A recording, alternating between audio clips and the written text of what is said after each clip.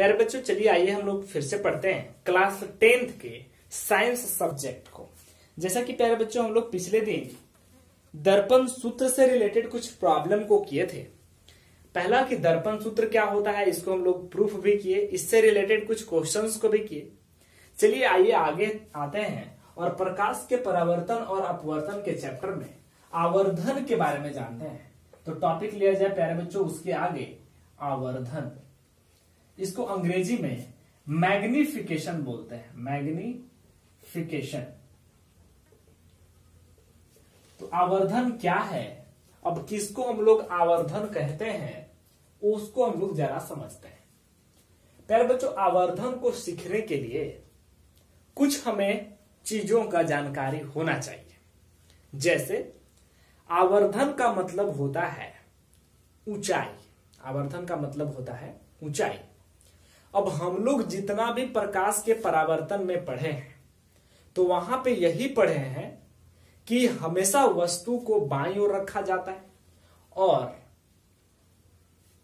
दूसरी बात, कि जो वस्तु का साइज़ होता है, वो प्रतिबिंब से बड़ा या छोटा हो सकता है।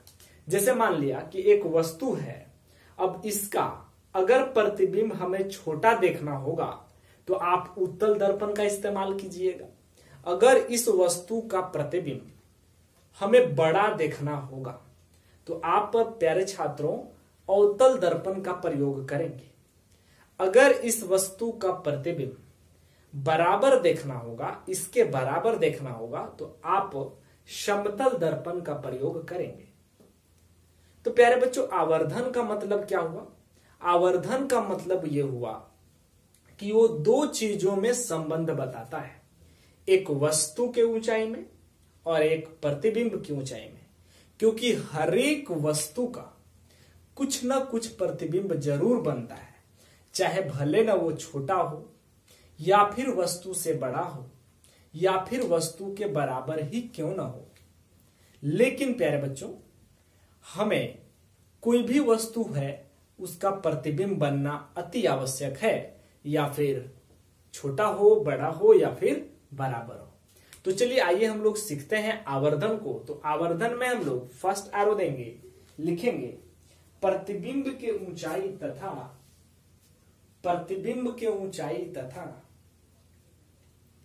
वस्तु के ऊंचाई के अनुपात को, वस्तु के ऊंचाई के अनुपात को आवर्धन कहा जाता है। आवर्धन कहा जाता है। नेक्स्ट एरो देंगे, दूसरा एरो लिखेंगे। इसे इसे एम से सूचित किया जाता है। इसे एम एम का मतलब छोटा एम मतलब जहाँ भी आवर्धन होगा, प्यारे बच्चों, उसको एम से सूचित करना है। तो इसे एम से सूचित किया जाता है। प्यारे बच्चों, समझते हैं यहाँ पे? सबसे पहले आपको उसके नीचे लिखना है, माना। क्या मान रहे हैं? कि प्रतिबिंब की ऊंचाई प्रतिबिंब की ऊंचाई, प्यारे बच्चों एच डैश है। देखिए एच डैश का मतलब क्या हुआ? प्रतिबिंब की ऊंचाई। और अगर मान रहे हैं चूँकि अपने से मान रहे तो आप यहाँ से एक्स वाई जेड कुछ भी मान सकते हैं। वस्तु की ऊंचाई को हम लोग फ़िलहाल एच माने हुए हैं। प्यारे बच्चों, आवर्धन में जो लिया जाता है, वो प्रतिबिंब का ऊंचाई लिया जाता है और वस्तु की ऊंचाई लिया जाता है? चूँकि आवर्धन का फार्मूला यह बताता है कि प्रतिबिंब की ऊंचाई और वस्तु की ऊंचाई के अनुपात को ही हम लोग बोलते हैं आवर्धन। तो चलिए, अब हम लोग चूँकि आवर्धन का फार्मूला क्या जानते हैं? तो आवर्धन इज़ इक्वल टू प्रतिबिंब का ऊंचाई प्रतिबिंब की ऊंचाई बटा वस्तु की ऊंचाई। प्यारे बच्चों, आवर्धन का मतलब क्या समझते हैं हम लोग?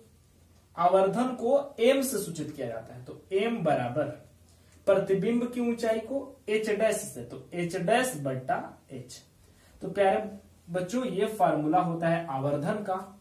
अनुपात का मतलब होता है भागा डिवाइडेड यानी कि प्रतिबिंब का ऊंचाई और वस्तु के ऊंचाई के अनुपात को आवर्धन कहा जाता है। बहुत सिंपल लैंग्वेज में, बहुत सिंपल डेफिनेशन ठीक है? चलिए, एक और चीज़ होता है। तो इतना चीज़ लिखने के बाद फिर से एरो देंगे। ये एरो आवर्धन में ही अभी हम लोग पढ़ रहे हैं। नेक्स्ट एरो देंगे, लिखेंगे। आवर्धन को आवर्धन को प्रतिबिंब दूरी प्रतिबिंब दूरी तथा तथा वस्तु दूरी से भी, तथा वस्तु दूरी से भी सूचित किया जाता है। वस्तु दूरी से भी सूचित किया जाता है। प्यारे बच्चों, हम लोग जरा सा इसके नीचे कुछ बात लिखे हैं, उसको हम लोग समझते हैं। जैसे मान लिया कि कोई भी दर्पण है और उस दर्पण, जैसे कि मान लिया एक अवतल दर्पण है, और इस अवतल दर्पण में एक मुख्य हज जहाँ पे पी है यहाँ पे प्यारे बच्चों, एक वस्तु रखा गया है, जिसका नाम ए बी है। अब इस ए बी से एक समांतर किरणों को गुजारते हैं तो हम लोगों को फोकस से होकर गुजरता है। दैट मीन्स फोकस ठीक है? और जैसे ही इसको सेंटर से गुजारा जाता है तो अपने रास्ते पे लौट जाता है। तो इस तरीके से हम लोग को जो यहाँ इमेज बनता है, वो मान लिया A dash B dash image बन रहा ठीक है? प्यारे बच्चों, यहाँ पे अगर हम लोग बात करें तो ए बी एक वस्तु है यहाँ। ए बी क्या है? एक वस्तु है। और ए डैश, बी डैश क्या है? तो ए डैश, बी डैश एक प्रतिबिंब है। ठीक है? अब ए डैश, बी डैश एक प्रतिबिंब है और ए बी एक वस्तु है। ठीक है? तो हम ये बोल सकते हैं कि कोई भी दूरियाँ हमेशा ध्रुव से मापा जाता है। इसलिए प्यारे बच्चों, जब हम लोग ए बी एक वस्तु है तो पी से लेकर ए तक की दूरी वस्तु दूरी कहलाएगा और पी से लेकर ए डैश तक प्रतिबिंब की दूरी कहलाएगा। लेकिन प्यारे बच्चों, हम लोगों को वस्तु दूरी, यानी कि पी ए पी ए किससे सूचित होगा? तो पी ए एक वस्तु दूरी है तो उसको यू से सूचित करेंगे। और पीबी जो है sorry P A P A प्रतिबिंब है तो प्रतिबिंब दूरी को भी से सूचित किया जाता है। लेकिन प्यारे बच्चों, आप ये समझिए कि आवर्धन का फार्मूला क्या होगा। तो आवर्धन का फार्मूला में सबसे पहले प्रतिबिंब का ऊंचाई लिखा जाता है।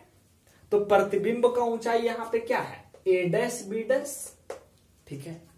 प्रतिबिंब का ऊंचाई वहाँ एच डैश भले बोल रहे थे, लेकिन यहाँ पे नाम है तो नाम हो जाएगा ए डैश बी डैश बटा। वस्तु की ऊंचाई, प्यारे बच्चों तो वस्तु की ऊंचाई क्या है? ए बी तो यहाँ हो जाएगा ए बी प्यारे बच्चों, आप ये समझिए कि ए डैश बी डैश कहाँ है? तो मुख्य अक्ष के नीचे है। मुख्य अक्ष के नीचे प्यारे बच्चों, जब मुख्य अक्ष के नीचे रहता है तो हमें चिन्ह परिपाटी क्या बताता है? कि मुख्य अक्ष से नीचे की दूरियाँ ऋणात्मक होती है, माइनस में होती है। जबकि मुख्य अक्ष से ऊपर की दूरियाँ कैसी होती है? धनात्मक होती है पॉजिटिव होती है। प्यारे बच्चों ए डैश बी डैश अच्छा से देखिए तो ए डैश बी डैश क्या है? तो मुख्य अक्ष के नीचे है। इसका मतलब प्यारे बच्चों, यहाँ पे लिख दिया जाए minus A dash B dash बटा। वस्तु क्या है? तो ऊपर है मुख्य अक्ष के ऊपर है। तो जब भी कोई वस्तु या कोई भी दूरियाँ मुख्य अक्ष से ऊपर मापी जाती है, वो धनात्मक दूरियाँ होती है। तो यहाँ पे हम लोग ए बी का ए बी छोड़ देंगे। प्यारे बच्चों, आप यहाँ पे ये भी देख सकते हैं। कि ए डैश बी डैश का मतलब यह हुआ कि इसका ऊंचाई और इसका ध्रुव से दूरी कितना है? तो भी पी से लेकर एडेस तक की दूरी भी है तो यहाँ पे लिख सकते हैं माइनस भी और वैसे ही प्यारे बच्चों ए बी का मतलब ए और बी आखिर बात तो बराबर है ना? पी से लेकर ए तक की दूरी बोलो या पी से लेकर बी तक की दूरी, दोनों तो एक ही है ना? तो कुल मिलाकर अगर देखा जाए तो यहाँ से यहाँ तक की वस्तु दूरी को हम लोग यू से सूचित करते हैं। इसलिए प्यारे बच्चों, आज से हम लोग एक और फार्मूला समझ जाएँगे कि पी बर एम बराबर फार्मूला क्या होता है? माइनस भी बटा यू यानी कि एम का मतलब क्या? आवर्धन। तो प्यारे बच्चों, इसको अच्छे से नोट कर लीजिएगा फिगर को बनाइएगा, उसके नीचे क्या क्या है और कैसे कैसे प्रूफ हुआ है माइनस भी बटा में यू तो इन चीज़ों को बिल्कुल क्लियर कट बनाइएगा। हमेशा प्यारे बच्चों, प्रकाश के परावर्तन, अपवर्तन में जो फिगर दर्पण से रिलेटेड बनाते हैं, उसमें हमेशा आपको पेंसिल का इस्तेमाल करना है। ये सब जो प्लस पॉइंट होती है एग्ज़ाम में अच्छे मार्क्स के लिए, ठीक है? आप हमेशा एग्ज़ाम में अगर ऐसा स्केच करने के लिए आया, आए, या फिर खुद हमें कुछ बनाना पड़े तो आप बिल्कुल पेंसिल से बनाइएगा फ्रेश डायग्राम बनना चाहिए। चलिए। तो हम लोग अब समझ गए कि आवर्धन का फार्मूला क्या होता है? माइनस भी बटा में यू जहाँ भी क्या है तो प्रतिबिंब दूरी, और यू क्या है प्यारे बच्चों? वस्तु दूरी। यानी कि हम ये भी बोल सकते हैं प्यारे बच्चों कि प्रतिबिंब की दूरी और वस्तु की दूरी के अनुपात को आवर्धन भी कहा जाता है। यानी कि प्यारे बच्चों, आप समझिए, आवर्धन का दो दो फार्मूला। एक एच डैश बट्टा एच और एक माइनस भी बटा में यू जहाँ पे एच डैश क्या है तो प्रतिबिंब की ऊंचाई और एच क्या है तो वस्तु की ऊंचाई। भी क्या है तो प्रतिबिंब दूरी और यू क्या है तो वस्तु दूरी। तो इस तरीके से हम लोग को दो दो फार्मूला है। तो फ़िलहाल, नीचे एक और एरो देंगे, लिखेंगे। लिखेंगे। प्रतिबिंब दूरी के ऋणात्मक मान तथा प्रतिबिंब दूरी के ऋणात्मक मान तथा वस्तु दूरी के मान के अनुपात को वस्तु दूरी के मान के अनुपात को आवर्धन कहा जाता है। आवर्धन कहा जाता है। ठीक है? चलिए, अब जरा समझते हैं। तो बात वही लिखा गया। देखिए, प्रतिबिंब दूरी के ऋणात्मक मान, माने कि माइनस भी, और वस्तु दूरी का मतलब यू के अनुपात को हम लोग क्या बोलेंगे? तो आवर्धन। अब आवर्धन को प्यारे बच्चों किससे सूचित करते हैं? तो एम से सूचित करते हैं। अच्छा फिर आगे बढ़ते हैं, और फिर और चीज़ों को समझते हैं हम लोग। क्या होता है? सबसे पहले अगर कोई क्वेश्चन आएगा, क्या क्वेश्चन आएगा? एग्ज़ाम्पल में कुछ क्वेश्चन कर लेते हैं कि सवाल ऐसे आएगा कि एक दर्पण है और उस दर्पण में जो प्रतिबिंब बन रहा है, ध्यान से सुनिएगा, एक कोई दर्पण है, अब उसमें जो प्रतिबिंब बन रहा है, वस्तु से चार गुना बन रहा है। तो चार गुना का मतलब क्या, प्यारे बच्चों? चार गुना का मतलब यह हुआ कि प्रतिबिंब चार गुना है। वस्तु अगर एक है तो वो चार है। ठीक है? अगर वस्तु आठ है तो वो बत्तीस है। चार गुना का मतलब यही हुआ। तो प्यारे बच्चों, अगर ऐसा सवाल आएगा तो अक्सर एम का वैल्यू हो जाता है। यानी कि अगर कहीं भी सवाल में ये आए कि प्रतिबिंब का ऊंचाई, वस्तु के ऊंचाई से आठ गुना है, चार गुना है छ गुना है तीन गुना है तो हो जाता है एम का मान। ठीक है? और एम का मान कब माइनस में होगा और कब प्लस में होगा? तो अगर एम का मान अवतल दर्पण में होगा तो वो माइनस होता है और उतल दर्पण में प्लस होता है। ठीक है? तो याद रखिएगा, इस बात को नोट में करके लिख ही लीजिए। नोट में लिख लीजिए कि एम का वैल्यू कब प्लस में होता है? जब अवतल दर्पण होगा। या फिर बोले तो जिसमें वास्तविक प्रतिबिंब बने, जिसमें वास्तविक प्रतिबिंब बने, या फिर अवतल दर्पण हो तो एम का मान कोची में लिया जाता है? प्लस में। और एम का वैल्यू कहा माइनस में लिया जाता है? जहाँ पे उत्तल दर्पण हो, प्यारे बच्चों। या फिर जहाँ काल्पनिक प्रतिबिंब बनता हो। ठीक है? वहाँ पे एम का वैल्यू माइनस में लिया जाता है। चलिए अब जरा हम लोग बात कर लेते हैं। एक क्वेश्चन लिखा जाए तब। ऐसे समझ नहीं आएगा। तो एग्ज़ाम्पल में एक क्वेश्चन लिखा जाए। लिखा जाए।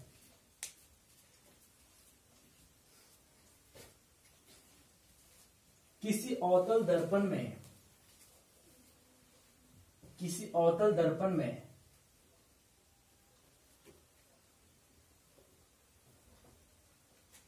कोई बिंब कोई बिंब, यानी कि वस्तु, दर्पण से दर्पण से दर्पण से आठ मीटर की दूरी पर है, आठ मीटर की दूरी पर है, और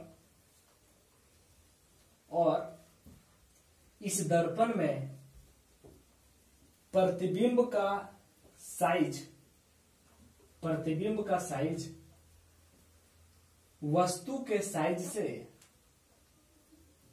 वस्तु के साइज़ से तीन गुना बन रहा हो तो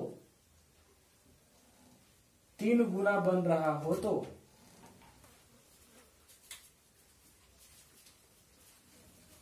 इस वस्तु के लिए अवतल दर्पण के सामने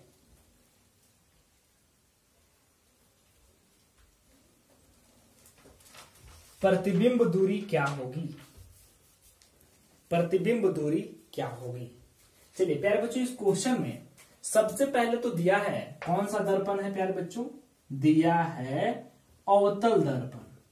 और अवतल दर्पण तो समझ में आ रहा है कि हमको सबसे पहले दर्पण पहचानना है। कौन सा दर्पण दिया? अवतल दर्पण। अब अवतल दर्पण में सवाल क्या बोल रहा है? कि कोई भी वस्तु जो है, बिंब जो है, आठ मीटर की दूरी पर है। तो हम वस्तु दूरी का मतलब u और वस्तु दूरी हमेशा माइनस में होता है। तो u बराबर माइनस आठ सेंटीमीटर सेंटीमीटर लिख लीजिएगा वहाँ पे। आठ सेंटीमीटर की दूरी पर। फिर बोला कि प्रतिबिंब का जो साइज़ है, वस्तु के साइज़ से तीन गुना है। इसका मतलब का कि m का वैल्यू कितना? तो तीन। कौंची में तो चूँकि अवतल दर्पण है तो माइनस तीन। प्यारे बच्चों एम का वैल्यू तीन कैसे आ रहा है, जरा आप समझ जाइए।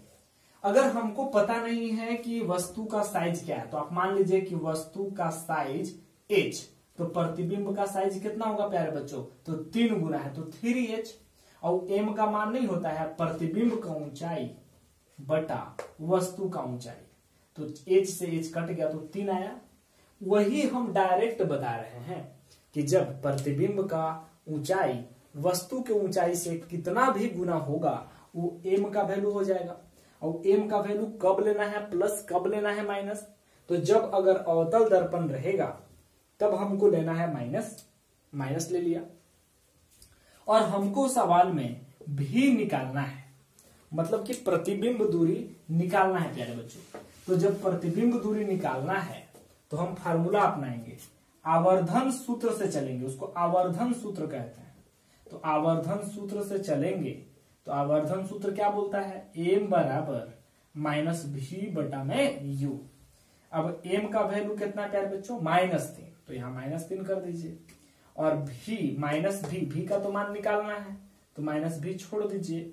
और यू का मान कितना प्यारे बच्चों? यू का मान माइनस आठ। तो माइनस आठ सेंटीमीटर रख दीजिए। और जब यहाँ ऊपर भी माइनस और ऊपर भी माइनस रहता है तो कैंसिल आउट हो जाएगा माइनस माइनस अब भी का मान निकालना है तो तिरछा तिरछी गुना कर देंगे। तो माइनस तीन गुना में आठ बराबर भी। इसलिए भी बराबर माइनस चौबीस सेंटीमीटर। यानी कि प्यारे बच्चों, ये भी का वैल्यू माइनस में, यानी कि प्रतिबिंब तो ऑलरेडी माइनस चौबीस होता है, माइनस में होता है। तो यहाँ लिखेंगे कि प्रतिबिंब दर्पण से, प्रतिबिंब दर्पण से 24 सेंटीमीटर की दूरी पर बनेगा। 24 सेंटीमीटर की दूरी पर बनेगा। ठीक है? तो इस तरीके से हम लोग आवर्धन सूत्र का इस्तेमाल करके और फिर कुछ न्यूमेरिकल प्रॉब्लम को हल कर सकते हैं। तो एग्ज़ाम्पल में एक क्वेश्चन था। अब चलिए जरा आगे चलते हैं हम लोग। जैसा कि प्यारे बच्चों एनसीआरटी की किताब से हम लोग विज्ञान पढ़ रहे हैं तो एनसीआरटी की किताब में बीच बीच में प्रश्न आता है। तो फिर से अब वही हम लोग प्रश्न पे आ गए हैं। तो प्रश्न लिखिएगा, प्रश्न नंबर पहला। क्या पहला प्रश्न बोल रहे हैं? जिन लोगों के पास या जिन बच्चों के पास किताब नहीं होगा तो उनके लिए हम क्वेश्चन बोल देते हैं। और जिनके पास किताब की व्यवस्था है, आप किताब खोल लीजिए और फिर मिलाइएगा कि ये क्वेश्चन हम कहाँ से बोल रहे हैं। तो पहला क्वेश्चन लिखा जाए। उस उत्तल दर्पण की फोकस दूरी ज्ञात कीजिए। उस उत्तल दर्पण की फोकस दूरी ज्ञात कीजिए, जिसकी वक्रता त्रिज्या, जिसकी वक्रता त्रिज्या 32 सेंटीमीटर है।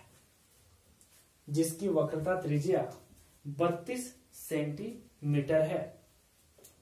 प्यारे बच्चों, ये बहुत सिंपल सवाल है। बोल रहा है कि उस उत्तल दर्पण में फोकस दूरी निकालना है तो फोकस दूरी का मान वाट फोकस दूरी का मान निकालना है, माने कि ज्ञात करना है। कब? जब हमें वक्रता त्रिज्या का मान दिया है। प्यारे बच्चों, वक्रता त्रिज्या को आर से सूचित करते हैं और आर का मान कितना दिया है? बत्तीस सेंटीमीटर। ऊपर लिख लीजिए कि हमें किसमें दिया हुआ है? तो ये दिया हुआ है उत्तल दर्पण में। तो उत्तल दर्पण में हम लोग आर का मान प्लस लिखते हैं। तो यहाँ हो गया आर का वैल्यू बत्तीस है। प्लस में। तो एफ़ का मान प्यारे बच्चों पूछा जा रहा है। तो एक सूत्र आपको बताए होंगे हम लोग कि आर बराबर क्या होता है प्यारे बच्चों? टू एफ़ होता है। यानी कि वक्रता त्रिज्या जो होता है, फोकस दूरी का दो गुना होता है। तो प्यारे बच्चों, यहाँ आर का मान कितना है? प्लस बत्तीस। तो बत्तीस रख दीजिए, बराबर टू एफ़। और फोकस का मान बताना है तो प्यारे बच्चों, दो इधर गुना में है तो भागा में चल जाएगा। इसलिए एफ़ बराबर कितना हो जाएगा प्यारे बच्चों? बत्तीस बटा में दो। यानी कि 16 सेंटीमीटर हमें आंसर हो जाएगा इस प्रश्न का। तो चलिए, अब अगले क्वेश्चन की तरफ़ बढ़ते हैं। Question number two. यानी कि ये ये जो अभी हम लोग प्रश्न लिखवा रहे हैं प्यारे बच्चों, ये किताब के बीच का प्रश्न है। चलिए, अगले प्रश्न क्यों आते हैं। दूसरा प्रश्न लिखेंगे। कोई अवतल दर्पण के सामने कोई अवतल दर्पण के सामने 10 सेंटीमीटर की दूरी पर 10 सेंटीमीटर की दूरी पर रखे किसी बिंब का, किसी बिंब का तीन गुना आवर्धित आवर्धित, तीन गुना आवर्धित वास्तविक प्रतिबिंब बनता है। तीन गुना आवर्धित वास्तविक प्रतिबिंब बनता है। तो प्रतिबिंब दर्पण से कितनी दूरी पर है? प्रतिबिंब दर्पण से कितनी दूरी पर है? प्यारे बच्चों, ये प्रश्न नंबर दो है। अब दूसरा प्रश्न में क्या बोल रहा है, जरा समझिएगा। दूसरा प्रश्न बोल रहा है कि एक प्यारे बच्चों, अवतल दर्पण है। तो यहाँ पे आप लिखिएगा अच्छे से। दिया है। क्या भाई? तो अवतल दर्पण में जो भी चीज़ दिया है, वो किस दर्पण में दिया है? अवतल दर्पण में। अब अवतल दर्पण में प्यारे बच्चों, ये सवाल बोल रहा है कि वस्तु जो है, वो 10 सेंटीमीटर पर रखा गया है। तो वस्तु को हम लोग, वस्तु दूरी को यू से सूचित करते हैं। वो 10 सेंटीमीटर के दूरी पर है तो 10 सेंटीमीटर माइनस में, क्योंकि हमेशा वस्तु दूरी को क्या लेते हैं? माइनस में लेते हैं। फिर बोल रहा है कि जो प्रतिबिंब बन रहा है, वो वस्तु से कितना गुना है प्यारे बच्चों? तीन गुना है। तो हम अभी अभी पढ़े हैं कि जितना गुना होता है, वो एम का मान हो जाता है। तो यहाँ एम का वैल्यू तीन गुना। तो यहाँ तीन हो जाएगा।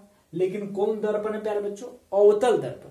तो यहाँ हो जाएगा माइनस तीन। अब हमको भी का मान निकालना है प्यारे बच्चों। तो चूँकि यू का वैल्यू दिया हुआ है एम का वैल्यू दिया है तो भी यानी कि प्रतिबिंब कितना दूरी पर बनेगा? तो आप आवर्धन सूत्र से इसका मान निकाल के और हमें आंसर, सही आंसर क्या होगा, इसको आपको ग्रुप में पोस्ट करना है। सही आंसर क्या होगा, उसको फिर हम देखेंगे और फिर समझेंगे कि कितने लोगों का सही हो रहा है। इसका राइट आंसर क्या है? तो प्यारे बच्चों, जो हम लोग बीच के प्रश्न कर रहे थे, वो यहीं तक के सवाल था। अब अगले क्लास में हम लोग इसके बाद के टॉपिक्स को पढ़ेंगे तो आज के क्लास को यहीं तक स्टॉप करते हैं। धन्यवाद।